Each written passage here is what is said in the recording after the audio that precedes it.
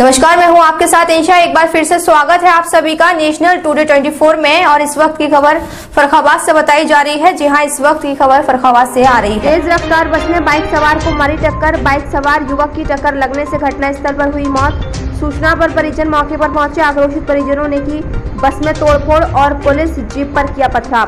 Police ने driver को हिरासत में लिया है। आपको बता दें, ड्राइवर को ले जा रही पुलिस के साथ। परिजनों ने ड्राइवर को छुड़वाने के लिए किया हाथापाई और की मारपीट। पुलिस के साथ मारपीट करते लोग कैमरे में हुए कैद, कोतवाली मोहम्मदाबाद क्षेत्र के कस्बे का यह मामला पूरा बताया जा रहा है। फरखाबाद से रघुवंश दुबे की रिपोर्ट।